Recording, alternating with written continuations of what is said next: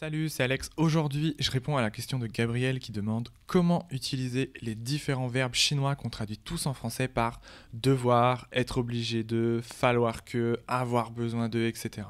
Voilà, en gros, tu vois, en chinois, il y a toute une petite famille de verbes comme ça, là, qui ont tous le même sens. Et du coup, c'est pas facile de savoir bah, lequel utiliser, dans quelle situation, et surtout comment les traduire en français. Donc dans cette vidéo, Gabriel, je te propose qu'on passe en revue tous les membres de la famille un par un ensemble et je vais te donner des exemples pour t'expliquer comment ils s'utilisent et surtout comment ils se traduisent. C'est parti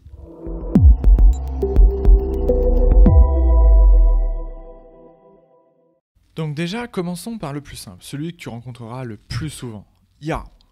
Donc ya, il a différentes traductions, mais l'une des traductions possibles en français c'est il faut que. Mais c'est le il faut que le plus vague et donc le plus faible. C'est celui que tu vas utiliser pour dire par exemple demain il faut que je travaille. Donc en chinois tu vas dire wo ming tian yao shang ban. Wo ming. Voilà, en gros, ce qu'il faut tenir, c'est que c'est pas un il faut que très fort. Donc en gros, c'est oui, demain, il faut que je travaille, mais tu vois, si je le fais pas, c'est pas grave. Donc il y a personne qui t'oblige en fait. C'est juste un il faut que très faible.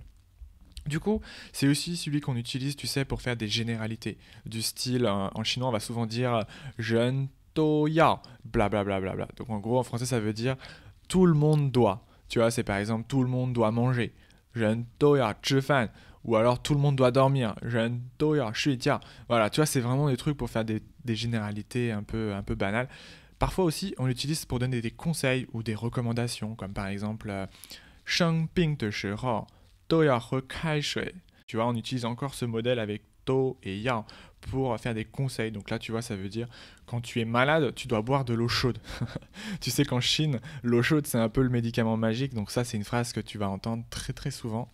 Donc tu vois ici le to combiné avec ya, c'est pour dire tout le monde devrait faire ça. Du coup, tu vois, c'est pas très fort comme recommandation. Ensuite, on continue avec su ya. Donc qui en français est la traduction directe de avoir besoin de. Tu vois, c'est un petit peu formel, mais en gros, c'est un mot extrêmement utile à connaître et tu peux l'utiliser dans vraiment plein de situations parce que c'est la traduction directe de j'ai besoin de en français. Donc par exemple, quand tu rentres dans un magasin et que tu veux dire j'ai besoin d'acheter, blablabla, tu vas dire en chinois wo ya blablabla. Souvent en fait, on va souvent te demander d'ailleurs la question en chinois ni ya shema. Donc en gros, ça veut dire de quoi tu as besoin? Tu vois, si tu rentres dans un magasin en Chine, par exemple, c'est très courant d'entendre cette question. Donc pas de problème pour ce mot, je trouve, parce que c'est la traduction directe de j'ai besoin en français, donc il n'y a pas de problème. Ensuite, on monte un petit peu dans la complexité avec, de la famille avec ting ya, ting ya, qui veut dire exactement la même chose que ya, sauf que là on est un cran plus fort. Du coup, on le traduit en français par il faut absolument que, tu dois absolument que. Tu vois, en fait, on rajoute le mot absolument pour monter d'un cran, mais l'utilisation reste la même que ya. C'est juste pour insister un peu plus. Du coup, ben, on l'utilise aussi très souvent pour faire des, généralités du style, euh, par exemple, 在中国一定要吃， 在中国一定要吃.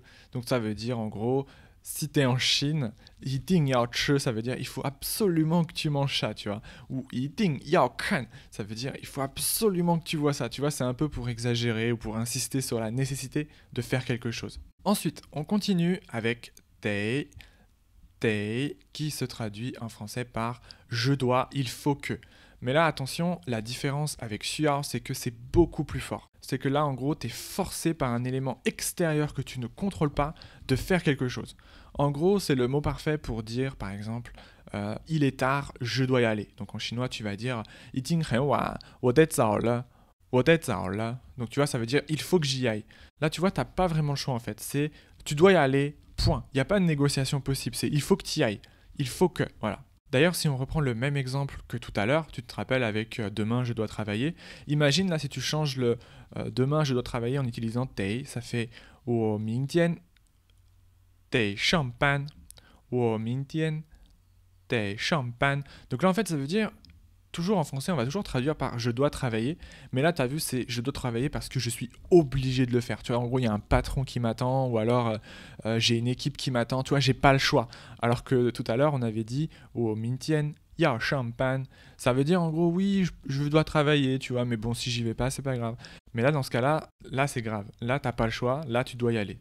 Euh, attention avec le caractère Qui a deux prononciations possibles en chinois. Donc attention à pas les confondre. Ici, quand tu dois dire, quand tu veux l'utiliser dans le sens je dois, il faut que, tu vas utiliser DEI, donc le pinyin DEI avec le troisième ton. Attention à pas confondre avec sa prononciation de, de deuxième ton. Donc euh, là, il y a un petit piège. Ensuite, on monte encore d'un cran avec Pichu qui se traduirait en français par c'est obligatoire de, tuer, obligé de. Alors là, là tu es carrément dans le niveau pour donner des instructions, tu vois. C'est pas tu dois ou il faut que, c'est tu es obligé de. Donc tu vois, c'est un mot un peu informel, mais très utile du coup pour donner des ordres ou des instructions. Comme par exemple, ni pichu lai, ni pichu lai. Ça veut dire en gros, tu es obligé de venir, tu vois, c'est un ordre. T'as pas le choix, je t'ordonne de venir. Ou par exemple, ni pichu tu kan Ni tu Ça veut dire là, je t'ordonne d'aller voir le docteur. Tu dois aller voir le docteur. C'est obligé d'aller voir le docteur. C'est une instruction, tu vois. Donc en fait, c'est pas mal pour donner des ordres et on l'utilise souvent en combinaison avec ni, tu vois. Euh, donc ni qui veut dire toi, tu. Euh, comme si tu voulais donner un ordre, par exemple, à, ton copain ou à ta copine, tu vas souvent dire ça, genre, t'es obligé de rester à la maison. Euh, bah, tu vas souvent utiliser ni pichu, blablabla. Et enfin, le dernier, donc euh, qu'on pourrait traduire en français par c'est nécessaire, c'est requis, donc bia. Euh, donc celui-là, je trouve que c'est celui qu'on voit le moins souvent, c'est le moins courant. Et la différence avec pichu, c'est que c'est un peu plus formel, un peu plus choumien, donc c'est normal de moins l'entendre. Ensuite, on l'utilise aussi pas vraiment pour donner des ordres, mais c'est plutôt pour indiquer qu'une action est nécessaire. Donc une petite astuce pour mieux le comprendre ce mot, c'est en fait c'est comme si tu rajoutais un ya après pisu, donc ça fait pisu ya, tu vois. Et en fait, on enlèverait le su, donc ça fait pia. Du coup, ça veut dire qu'il faut absolument faire quelque chose, qu'une action est indispensable et nécessaire. Donc par exemple, si tu veux indiquer qu'une action est requise ou nécessaire, tu peux utiliser ce type de phrase. Ça donnerait shama shama shi Shama shi Donc en gros, ça veut dire que voilà, cette action est nécessaire, que ça doit être fait. Comme par exemple, reshui shi Donc tu vois, en fait, ça veut dire que boire de l'eau est nécessaire, tu vois. C'est un, peu, c'est un peu con comme exemple, tu vois, mais imagine, il y a une notice d'utilisation pour les humains, il y, aurait écrit dessus « Rush, je Donc en gros, boire de l'eau est, indispensable. En fait, en pratique, ce mot, on l'utilise plutôt avec la négation, pour dire que quelque chose n'est pas obligatoire ou n'est pas requis. Par exemple, « Nimen meilleur wan Nimen meilleur wan en, gros, cette phrase veut dire, tu vois, que c'est pas nécessaire de finir cette tâche, que c'est pas nécessaire de terminer ce travail. Voilà, c'est pas obligatoire. Voilà, je trouve qu'on le voit le plus souvent sous cette forme, mais que de toute façon ça reste assez formel, donc c'est pas tellement le mot sur lequel tu vas souvent te prendre la tête. Voilà, j'espère que tu comprends mieux maintenant la différence entre chaque membre de la famille des je dois que, il faut que en chinois. Si tu as trouvé la vidéo intéressante, partage-la avec un ami qui apprend chinois, c'est ce qui m'aidera le plus à développer la chaîne. Tu peux aussi me poser des questions euh, en rapport avec le chinois dans les commentaires de la vidéo et j'y répondrai la prochaine. Enfin, si tu apprends le chinois en ce moment, j'ai lancé une petite formation pour t'aider à apprendre plus rapidement et plus efficacement.